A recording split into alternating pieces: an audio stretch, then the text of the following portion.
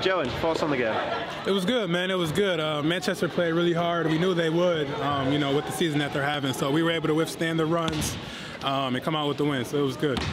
Got some more impressive numbers you put up against Manchester Giants.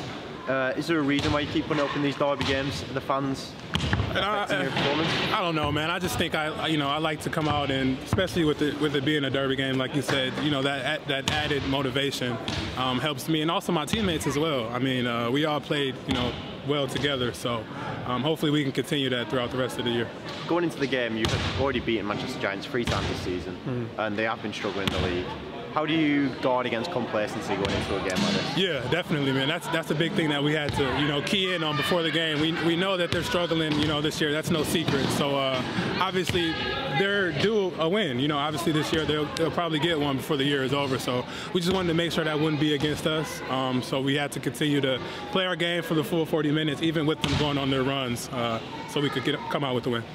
So you've got Worcestershire Wolves next. Yeah. Expecting another tough encounter. Yeah, man, they're they're playing really good right now. Um, so yeah, they'll be tough. We get a week off to you know get ready for them.